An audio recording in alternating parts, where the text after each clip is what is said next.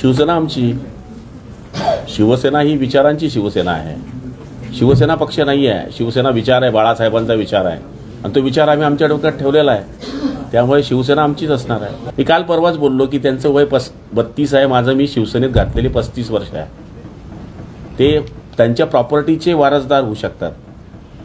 पण विचारांचे वारसदार ते नाही.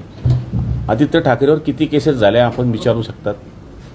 आदिती साहेब कोणत्या जेलमध्ये गेले त्यांना विचारा. नाहीतर आम्ही त्यांना लाईनीत सांगतो की आम्ही शंभर वेळेस काय काय भोगलं आहे तीनशे दोनपासून तीनशे सातपासून एकशे छप्पन ब एकशे दहा प्लेन चॅप्टर या कलम तरी त्यांना माहीत आहेत का? हे विचारावं.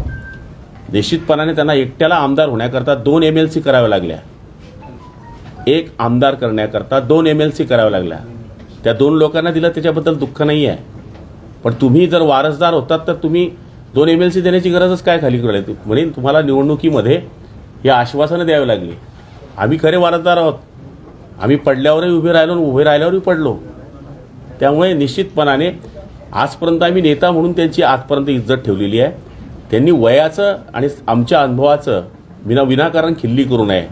नाहीतर आम्ही बोलण्यामध्ये इतके कठीण आहोत त्यांना आवरणं मुश्किल होऊन जाईल.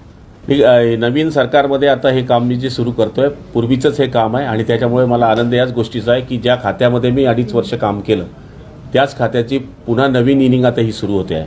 आणि मला तरी असं वाटतं की आमचं जे टार्गेट आहे दोन हजार चोवीसपर्यंतचं हर घर जल हर घर नल तर ते पूर्ण करण्याकरता निश्चितपणाने आम्हाला याची फार मदत होणार आहे. कारण मागचा अनुभव आणि मागची आमची पूर्ण टीम आणि आता तीच टीम वेगानं काम करणार आहे. आणि निश्चितपणाने पंचावन्न लिटर पर हेड माणसाला ग्रामीण पा भागामध्ये पाणी पुरवण्याचं या ठिकाणी जे आश्वासन किंवा वचन आम्ही दिलेलं आहे ते पूर्ण करणार आहोत. हे बघा आम्ही मागणी केलेली आहे शेवटी. आता निर्णय महापालिकेकडे आहे. जोपर्यंत तो निर्णय येत नाही त्याच्यावर वाच्यता करणं मला तरी वाटतं उचित होत नाही.